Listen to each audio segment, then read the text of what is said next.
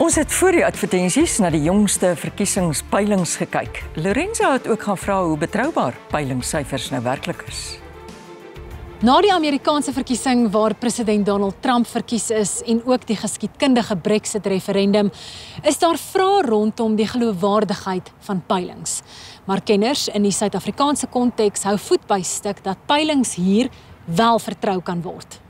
Die Instituut vir Rasseverhoudinge, se Gareth van Onselen, sê hy verstaan waarom Suid-Afrikaners skepties is. I think South Africans are fairly skeptical about surveys. Um, it's one of the reasons why the IR has undertaken to do these polls. We want to try and demonstrate that they can be helpful, they can be accurate, uh, and you can learn a lot about the electorate through them if you're willing to learn. Beide die Instituut vir Rasseverhoudinge en Ipsos aanvaar dat hulle peilings nie perfek is nie. En baie hang natuurlik af van hoe baie geregistreerde kiesers uiteindelik opdaag om te stem.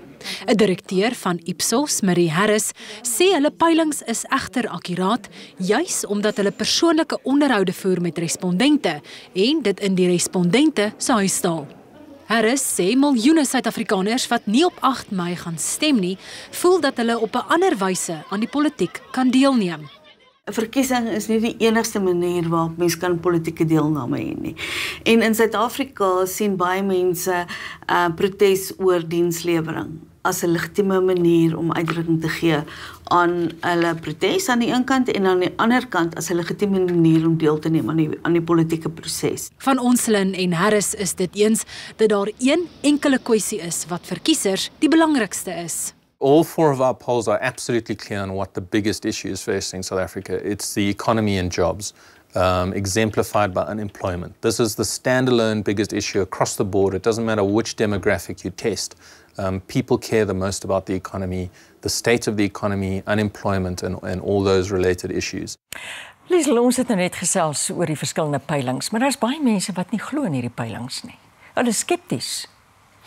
Ja, ek dink mense het goeie rede om te wees soos wat ons nou soos wat daar in die insetsel gesê is ook. Ek meen die verrassing wat uh, wat Brexit gebring het. Ja.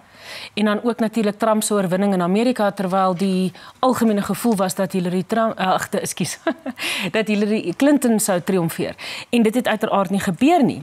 Maar wat interessant is van Brexit is mens mooi gaan kyk byvoorbeeld na van daai peilings, nê, is daar was iets so 17 van die 35 peilings wat in die maand voor die voor Brexit gedoen is, het gesê die kanse is goed dat dat Brexit gaan gebeur.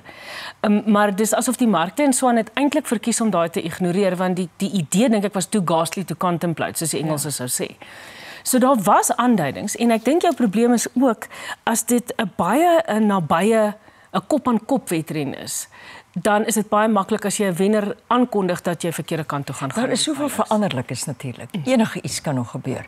Uh, professor Dirk uh, Kotse, Dr Dirk Kotse het vandag op uh, Spectrum, hier 'n nuusprogram verwys na die verskillende taalgroepe, die verskillende rasgroepe, uh, die ouderdomme of dit platteland of stedelik is. So daar's daar's baie dinge wat invloed het, nie waar nie? Beslis. En dan kyk jy ook, ek ben die Instituut vir Rasseverhoudings het ook daarop gewys dat jou groot partye dikwels in die week voor die verkiesing konsolideer hulle steun. Ja. So jou peilings ruk voor dit kan hulle dikwels laer aandui as wat die uiteindelike steun is wat deurkom. En dan ook wat die die dilemma met die peilings is en ons moet dit ook onthou in Suid-Afrika is daar's baie meer inligting beskikbaar oor die Wes-Kaap en Gauteng en so ons kan dan kyk na die peilings en ons ander anekdotiese inligting tussen verkiesings verkiesingsuitslae, uh onderhoude wat met mense gedoen word wat dit vir jou stie. Maar ons weet nie wat besig is om in die provinsies regtig te gebeur nie. Wat gaan in Noordwes aan? Wat gaan in platteland so KwaZulu-Natal aan waar dit lyk asof die IFP um 'n terugkeer maak.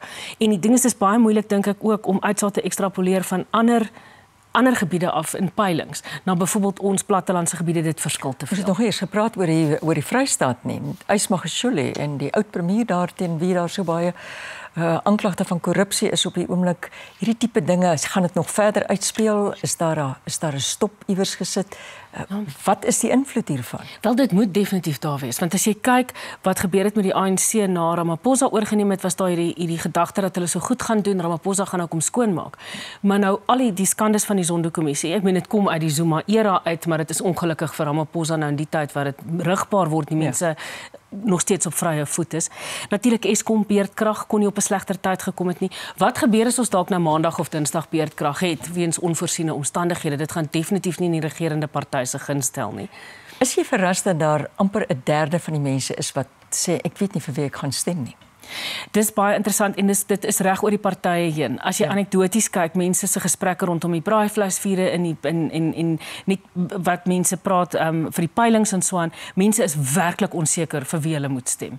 En dis 'n baie wen jy kry byvoorbeeld ons het 'n ruk terug by 'n praatjie mense gekry wat moet besluit of hulle vir die Vryheidsfront Plus wil stem of hulle vir die ANC wil stem. Nou ideologies is daai baie ver uit mekaar uit. So die mense is nie besig om ideologies te stem nie. Maar dit is ouens wat nou bekommerd is oor wat van die ANC, wat gaan met Ramaphosa binne die ANC gebeur wat daai vraag vra. En wat dalk vies is vir die DA oor iets en nou dink miskien moet hulle maar aan die ander kant toe gaan. Of dalk 'n wegbly stem. Want baie sê ek ek het nie 'n party om voor te stem nie, dis gaan ek nie stem nie. Is dit nie iets wat jy ook optel in die omgang nie? Beslis ja, en ek dink dis vir, ek dink daai is vir al die ANC se grootste kopseer, want daar is baie mense dink ek wat nog nie gereed is om die sprong te maak na 'n nuwe party toe nie. Ons het dit selfs met die plaaslike regeringsverkiesing gesien. Die wegbly stem het definitief die oppositie gehelp. Sewe dae, enkele ure en dan gaan Suid-Afrika na die stembus. Liesel baie dankie vir jou menings hieroor. Dankie.